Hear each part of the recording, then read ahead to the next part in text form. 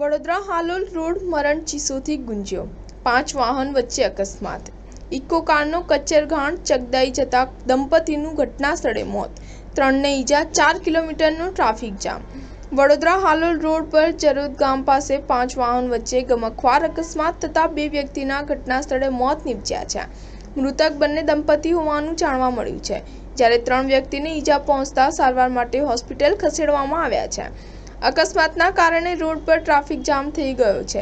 હાલ હાલોલ વડોદરા ટોલ માર્ગ બંધ કરી દેવામાં આવ્યો હોવાનું જાણવા મળ્યું છે.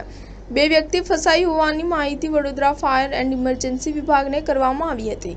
પ્રાપ્ત વિગત અનુસાર, વડોદરા હાલોલ રોડ પર જરોદ ત્રણ રસ્તા પાસે વિચિત્ર અકસ્માતમાં વાહનો એકબીજા પાછળ અથડાયા હતા. એક સાથે પાંચ વાહનો ટકરાતા વચ્ચે રહેલી ઇકોનો, કારનો ભૂક્કો બોલાઈ ગયો હતો. ઇકો કાર વાહનો વચ્ચે ચગડાઈ જવાથી અંદર સવાર જરોદ ગામના રહેવાસી નરેશભાઈ, ભીમજીભાઈ ડોડિયા અને તેમની પત્નીનું મોત થયું હતું.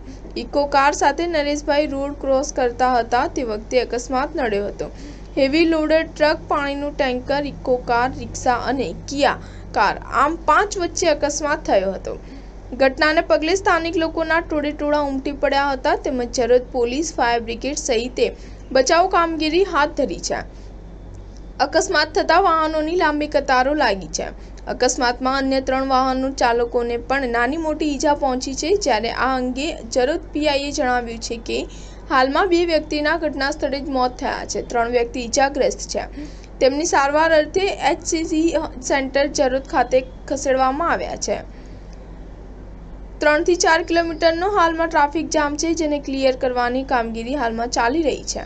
સ્ટાર ન્યૂઝ સેવન હંમેશા સચ્ચાઈની સાથે.